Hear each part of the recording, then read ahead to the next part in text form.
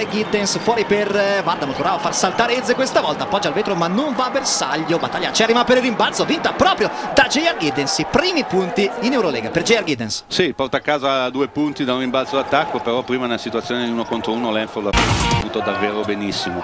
Ezze invece è rimasto, rimane lì a portata anche se questa palla è ancora nelle mani del Kimchi il palleggio da parte di Zaitsev poi Frizzon vuole Planinic, grande anticipo questa volta da parte di Giddens, 2 contro 1 con Giddens e Ewing, fa da solo Giddens, ma fino in fondo meno 5 Procom. Bravo. Ora per il Procom il leader è Daniel Ewing con 7 punti, sono 6 invece quelli di Giddens che va a cercare di completare questo eh, gioco da 3 punti e va a trovare il canestro. Prova Wex a gestire questo pallone dal post alto, mette palla a terra, attacca, poi si prende l'arresto e tiro J.R. Giddens, risponde molto bene anche lui dalla linea di fondo, il Procom torna meno 1. Varda, Planinic va nell'angolo da Frezon, bravo a saltare con la finta, Giddens sbaglia però da distanza tutt'altro che impossibile il numero 7 Vitali Frezon, rimbalzo conquistato dallo stesso Giddens che aveva saltato sulla finta, poi Ewing prova ad attaccare Frezon che lo tiene però lontano da canestro, ancora ci riprova Ewing questa volta contro Ezze di gira intorno ma sbaglia la conclusione anche perché Ezze comunque rimane lì con il suo fisico, il contropiede gestito da Langford, giro sul piede perno a 360, poi lo scarico esterno per Monia, Planic ancora sotto da Ezze, anticipato molto bene questa volta da Giddens, un po' pigro però il passaggio dell'ex Zesca può ripartire il Procom con Giddens che va a scambiare con la peta il blocco di di Lapeta per lo stesso Giddens.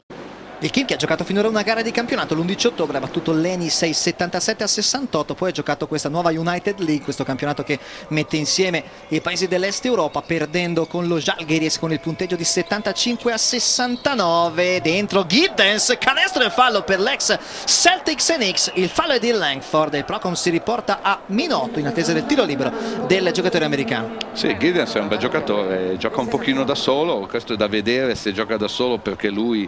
Eh, gioca in questo modo perché è appena arrivato e quindi non conosce ancora bene gli equilibri della squadra e si fida più propria, eh, delle proprie qualità.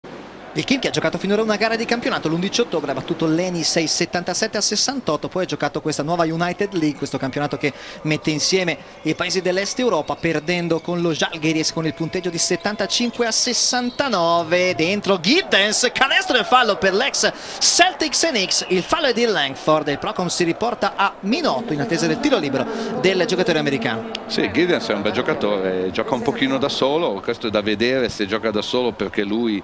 Eh, gioca in questo modo perché è appena arrivato e quindi non conosce ancora bene gli equilibri della squadra e si fida più propria, eh, delle proprie qualità. Dell'ex giocatore dell'Università di Duke, poi Videnov con il palleggio, vediamo se Vanda riesce anche a segnare dalla distanza, sbaglia, molto bravo però Gideon sa volare molto perché ha intensità difensiva ed è anche un buon rimbalzista, sta viaggiando a 8 rimbalzi, qua attacca il ferro, e qua trova anche un po' di fortuna sicuramente. Inese che fa il suo ritorno in campo per questi ultimi 3-23 di partita, ammesso che non ne servano 5 in più, palla persa malamente dal Kim che ci prova subito per i tre punti, Ewing non trova il bersaglio, J.R. Giddens, tapping schiacciato, meno 3 Procom, anche i numeri davvero da NBA dell'ex giocatore di Celtics NX servono a tenere in partita i polacchi. Ma Lenford un po' molle su questa ricezione, forse non si aspettava questa pressione, palla rubata e grande.